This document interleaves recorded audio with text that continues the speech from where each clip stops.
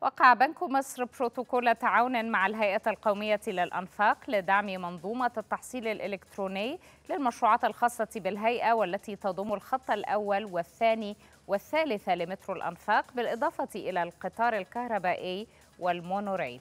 وأكد عاكف المغربي نائب رئيس بنك مصر أن التوقيع يأتي في إطار حرص البنك على دعم التحول للمجتمع اللانقدي وإتمام كافة المعاملات المصرفية بسهولة وأمان خاصة في ظل تفضيل الأفراد للتباعد الاجتماعي واستخدام الخدمات الإلكترونية كبديل آمن في ظل الظروف الحالية الخاصة بفيروس كورونا.